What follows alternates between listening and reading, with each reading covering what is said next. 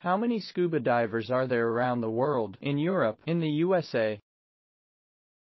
Are scuba divers ready to dive after their entry-level open water certification course?